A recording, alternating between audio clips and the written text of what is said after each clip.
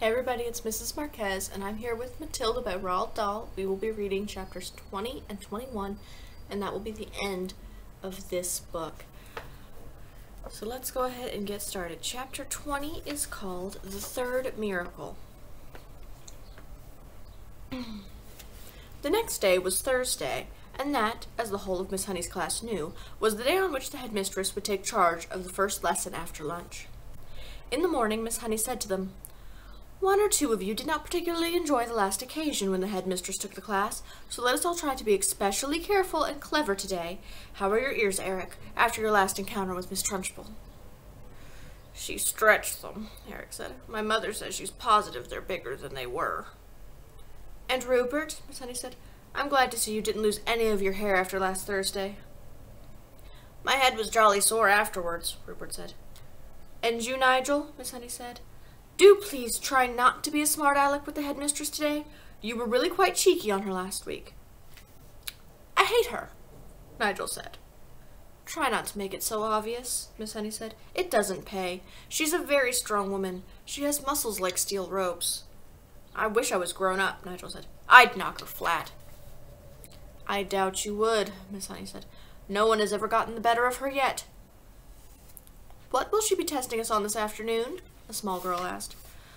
Almost certainly the three times table, Miss Honey said. That's what you are all meant to have learnt this past week. Make sure you know it. Lunch came and went. After lunch, the class reassembled. Miss Honey stood at one side of the room. They all sat silent, apprehensive, waiting. And then, like some giant of doom, the enormous Trunchbull strode into the room in her green breeches and cotton smock. She went straight to her jug of water and lifted up by the handle and peered inside. I am glad to see, she said, that there are no slimy creatures in my drinking water this time. If there had been, then something exceptionally unpleasant would have happened to every single member of this class. That includes you, Miss Honey. The class remained silent and very tense. They had learnt a bit about this tigress by now, and nobody was about to take any chances. Very well, boomed the Trunchbull. Let us see how well you know your three times table. Or, to put it another way, let's see how badly Miss Honey has taught you the three times table. The Trunchbull was standing in front of the class, legs apart, hands on hips, scowling at Miss Honey, who stood silent to one side. Matilda, sitting motionless at her desk in the second row, was watching things very closely. You! the Trunchbull shouted, pointing a finger the size of a rolling pin at a boy called Wilfred. Wilfred was on the extreme right of the front row. Stand up, you, she shouted. Wilfred stood up. Recite the three times table backwards, the Trunchbull barked. But, but, backwards? stammered Wilfred. But, but I haven't learnt it backwards. There you are, cried the Trunchbull, triumphant. She's taught you nothing. Miss Honey, why have you taught them absolutely nothing all this past week? That is not true, headmistress, Miss Honey said. They've all learnt their three times tables, but I see no point in teaching it to them backwards. There's little point in teaching anything backwards. The whole object of life, headmistress, is to go forwards. I venture to ask whether even you, for example, can spell a simple word like wrong backwards straight away. I very much doubt it. Don't you get impertinent with me, Miss Honey, the Trunchbull snapped. Then she turned back to the unfortunate Wilfred. Very well, boy, she said. Answer me this. I have seven apples, seven oranges, and seven bananas. How many pieces of fruit have I got altogether? Hurry up. Get on with it. Give me the answer. That's adding up, Wilfred cried. That isn't the three times table.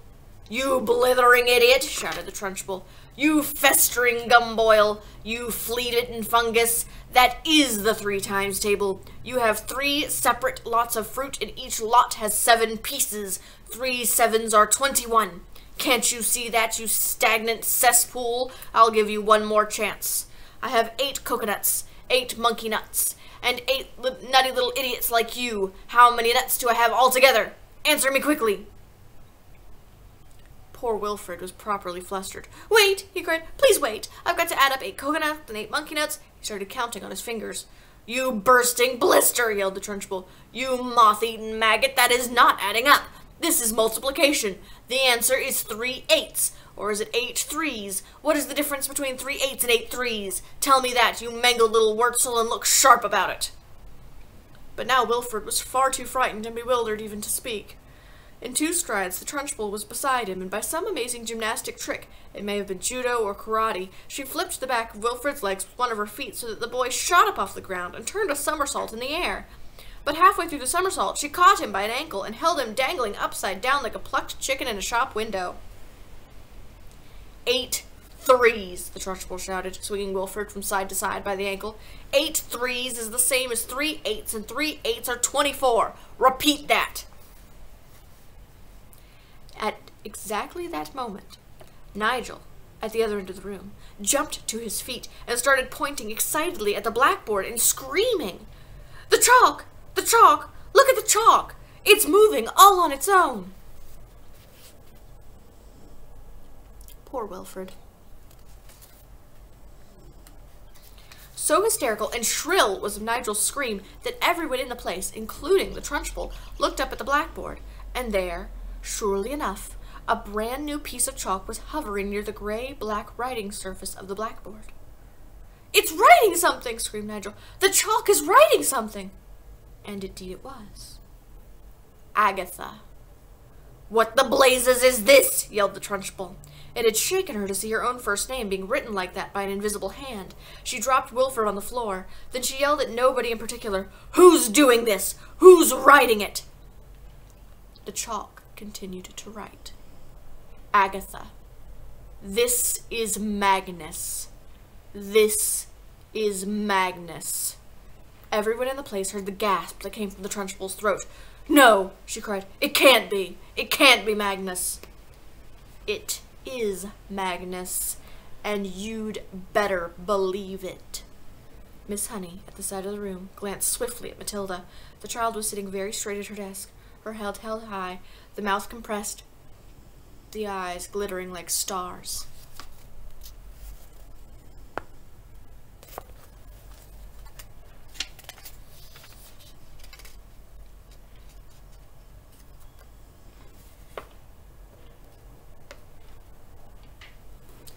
Agatha, give Jenny my house. For some reason, everyone now looked. Oh, I'm sorry. Agatha, give my Jenny back her house. For some reason, everyone now looked at the Trunchbull. The woman's face had turned white as snow, and her mouth was opening and shutting like a halibut out of water, and giving out a series of strangled gasps. Give my Jenny her wages. Give my Jenny the house. Then get out of here. If you don't, I will come and get you. I will come and get you like you got me. I am watching you, Agatha. The chalk stopped writing. It hovered for a few moments. Then suddenly it dropped to the floor with a tinkle and broke in two.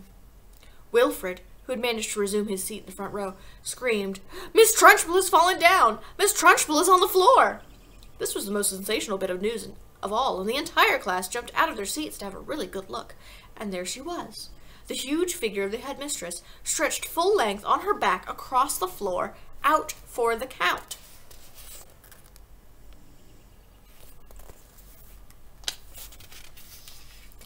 Miss Honey ran forward and knelt beside the prostrate giant. She's fainted, she cried. She's out cold. Someone go and fetch the matron at once. Three children ran out of the room. Nigel, always ready for action, leapt up and seized the big jug of water. My father says cold water is the best way to wake up someone who's fainted, he said, and with that he tipped the entire contents of the jug over the Trunchbull's head. No one, not even Miss Honey, protested. As for Matilda, she continued to sit motionless at her desk. She was feeling curiously elated. She felt as though she had touched something that was not quite of this world, the highest point of the heavens, the farthest star. She had felt most wonderfully the power surging up behind her eyes, gushing like a warm fluid inside her skull, and her eyes had become scorching hot, hotter than ever before, and things had come bursting out of her eye sockets, and then the piece of chalk had lifted itself up and begun to write.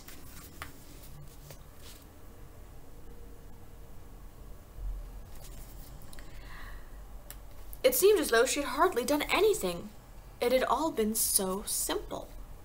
The school matron, followed by five teachers, three women and two men, came rushing into the room. By golly, someone's floored her at last, cried one of the men, grinning. Congratulations, Miss Honey. Who threw the water over her? asked the matron. I did, Nigel said proudly. Good for you, another teacher said. Shall we get some more? Stop that, the matron said. We must carry her up to the sick room. It took all five teachers and the matron to lift the enormous woman and stagger with her out of the room. Miss Honey said to the class, I think you'd all better go outside to the playground and amuse yourselves until the next lesson. Then she turned and walked over to the blackboard and carefully wiped out all of the chalk writing. The children began filing out of the classroom. Matilda started to go with them, but as she passed Miss Honey, she paused, and her twinkling eyes met the teacher's eyes, and Miss Honey ran forward and gave the tiny child a great big hug and a kiss.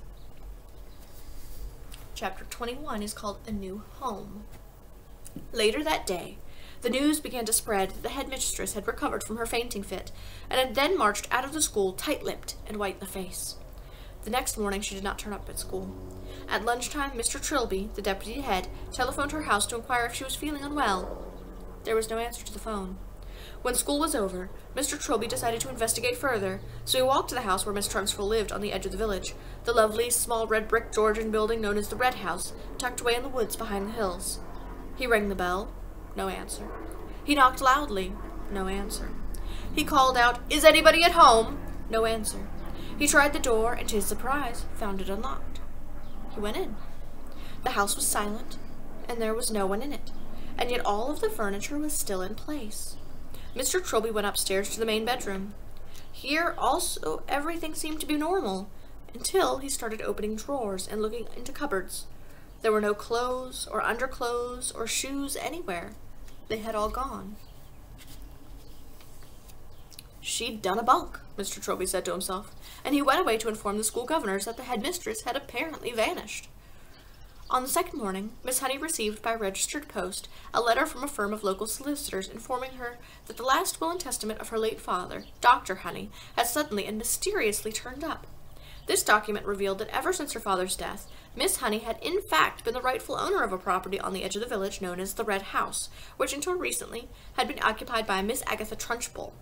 The will also showed that her father's lifetime savings, which fortunately were still safely in the bank, had also been left for her. The solicitor's letter added that if Miss Honey would kindly call into the office as soon as possible, then the property and the money could be transferred into her name very rapidly. Miss Honey did just that, and within a couple of weeks she had moved into the Red House, the very place in which she had been brought up and where luckily all of the family furniture and pictures were still around. From then on, Matilda was a welcome visitor to the Red House every single evening after school, and the very close friendship began to develop between the teacher and the small child. Back at school, Great changes were also taking place. As soon as it became clear that Miss Trunchbull had completely disappeared from the scene, the excellent Mr. Trilby was appointed head teacher in her place, and very soon after that, Matilda was moved up into the top form, where Miss Plimsoll quickly discovered that this amazing child was every bit as bright as Miss Honey had said. One evening, a few weeks later, Matilda was having tea with Miss Honey in the kitchen of the Red House after school, as they always did, when Matilda said suddenly, Something strange has happened to me, Miss Honey. Tell me about it, Miss Honey said. This morning, Matilda said, just for fun, I tried to push something over with my eyes, and I couldn't do it. Nothing moved. I didn't even feel the hotness building up behind my eyeballs. The power had gone. I think I've lost it completely.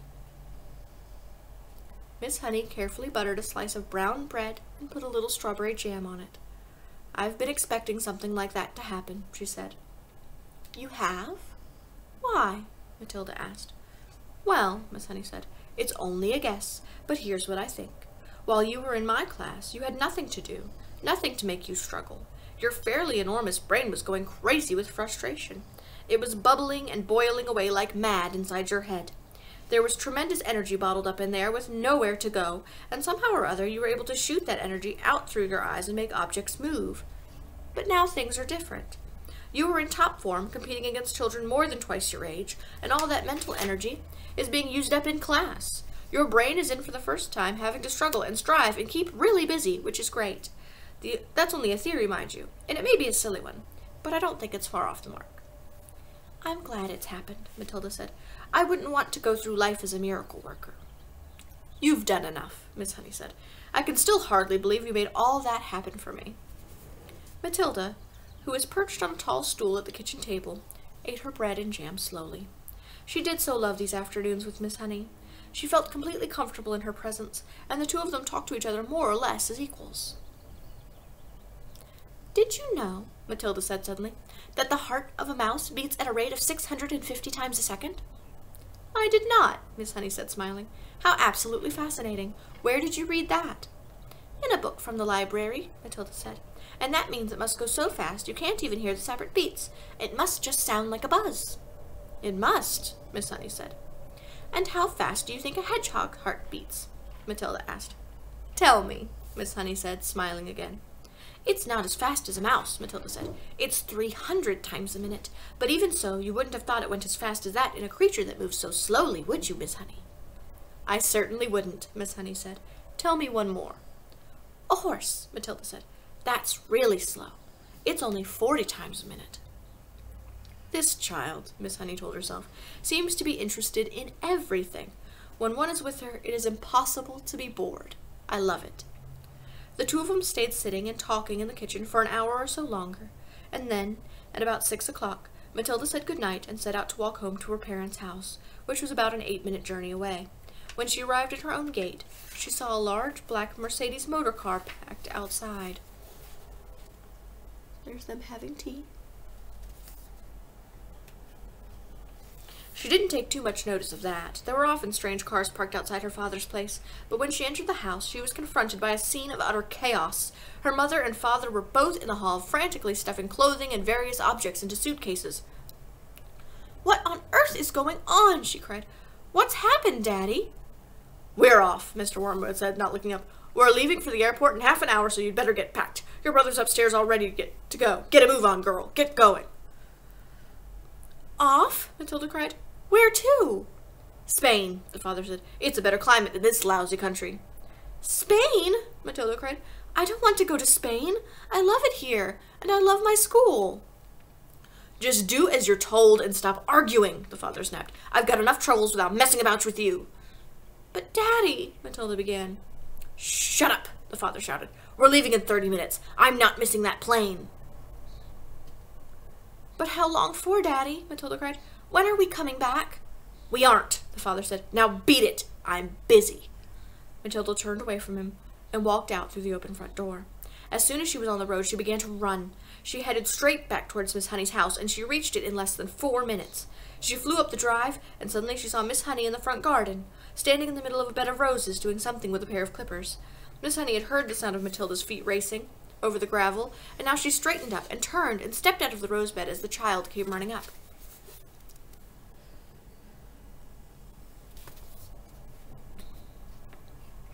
My, my, she said.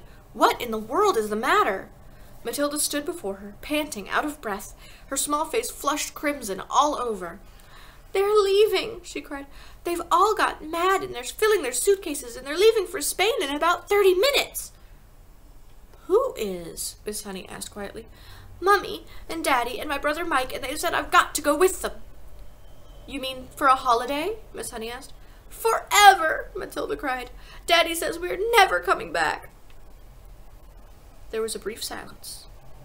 Then Miss Honey said, Actually, I'm not very surprised. You mean you knew they were going? Matilda cried. Why didn't you tell me? No, darling, Miss Honey said. I did not know they were going, but the news still doesn't surprise me. Why? Matilda cried. Please tell me why. She was still out of breath from the running and from the shock of it all.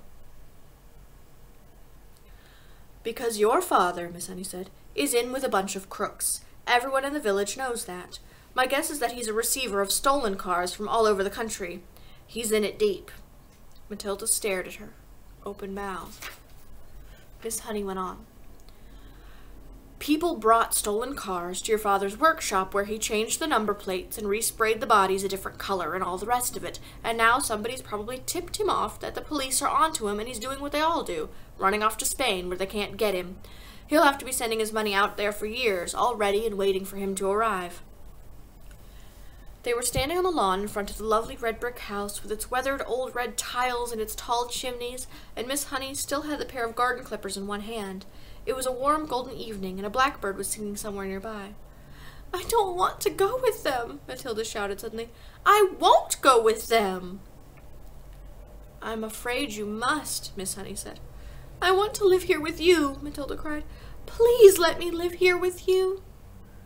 I only wish you could, Miss Honey said, but I'm afraid it's not possible. You cannot leave your parents just because you want to. They have a right to take you with them.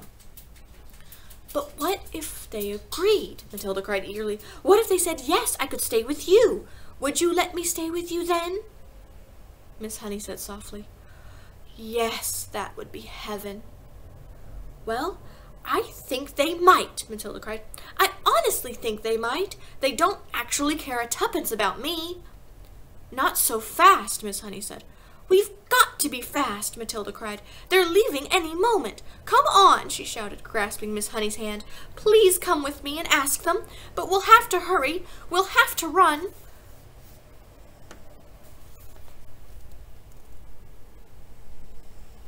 The next moment, the two of them were running down the drive together, and then out the road, and Matilda was ahead, pulling Miss Honey after her by the wrist, and it was a wild and wonderful dash.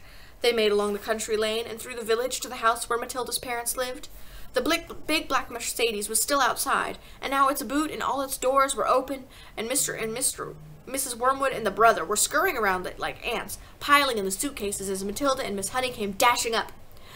Daddy and Mummy, Matilda bursted out, gasping for breath. I don't want to go with you. I want to stay here and live with Miss Honey, and she says that I can, but only if you give me permission. Please say yes. Go on, Daddy. Say yes. Say yes, Mummy. The father turned and looked at Miss Honey. You're that teacher woman who once came here to see me, aren't you? he said. Then he went back to stowing the suitcases into the car. His wife said to him, This one'll have to go in the back seat. There's no more room in the boot. I would love to have Matilda, Miss Honey said. I would look after her with loving care, Mr. Wormwood, and I would pay for everything. She wouldn't cost you a penny. But it's not my idea, it was Matilda's, and I will not agree to take her without your full and willing consent. Come on, Harry, the mother said, pushing a suitcase into the back seat. Why don't we let her go if that's what she wants? It'll be one less to look after. I'm in a hurry, the father said. I've got a plane to catch. If she wants to stay, let her stay. It's fine with me.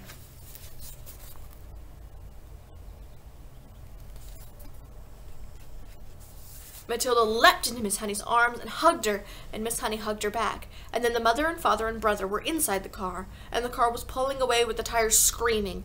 The brother gave a wave through the rear window, but the other two didn't even look back.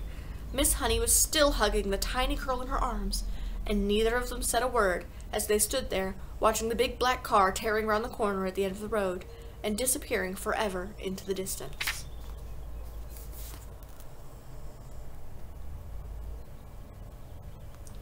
And that is the end of Matilda.